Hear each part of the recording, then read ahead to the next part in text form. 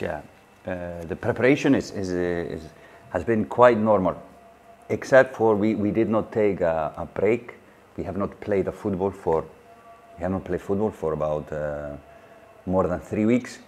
So we, we, we, haven't played a competitive game, but most teams took some days off, but we did not. Uh, and we've had some good good trainings, and I really have to give a compliment to the players.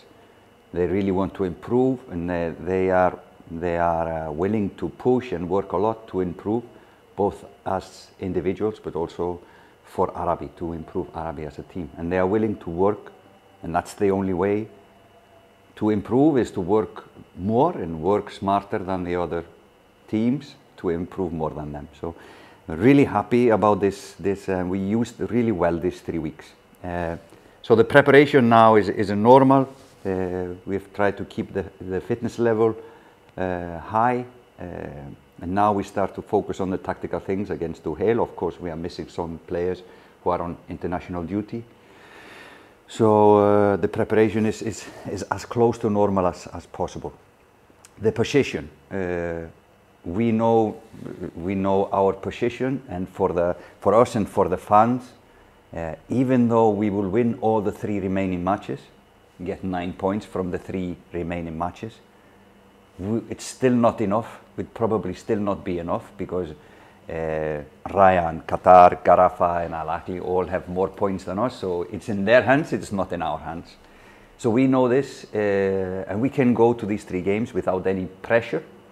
But we would like to win as, as many points as possible. Hopefully, we can we can get nine points from the from the three games. Uh, but most of all, we like to have good performances. We've, we've had a lot of good games recently. We have played good as a team and improved from the start of the season. And we like to continue this. And on a positive note, uh, if, it, if, nine if we get nine points, would be fantastic. Uh, but to perform the last three games really well is the most important thing to keep on improving as a, as a team. So, yeah.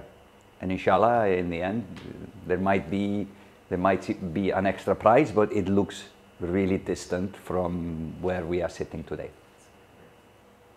It's always for a coach and, and for every supporter, you want your team not to concede a goal and you want your team to score a lot of goals.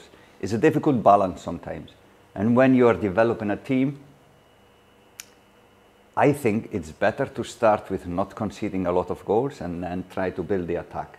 Not attacking and then uh, it's, it's, because it's more difficult to build a team through how you defend and then you can have the the spice to, to finish goals. I think we are not scoring too little. Uh, I, I, think it's just a balance. We, we have to keep a clean sheet to win matches because we, we, we will never score five, six goals per game. We know this.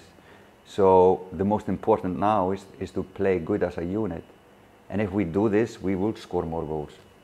But it's, it's not one player, it's not only this player or that player who can score the goals. It's every player in our team can score goals. And this is the fact we, we've, we've got goals from a lot of players this season, and this is what we would like to do. Uh, of course, all coaches and all teams like to have a guy who can score you 10, 15 goals per season. But this season we haven't, uh, we haven't managed to do this hopefully next season we, we can have a guy, maybe the, someone who is with the team, maybe a new player, who can score us 10, 15 goals, and this will make a big change. Only that player will make a big change. But if you are leaking goals, then normally it's not enough to take one player to fix the defensive problems. This is a collective thing. So we are happy where we are going, but we need a little touch up for especially next season. Arabi needs a, a little touch up for the next season so we can continue growing.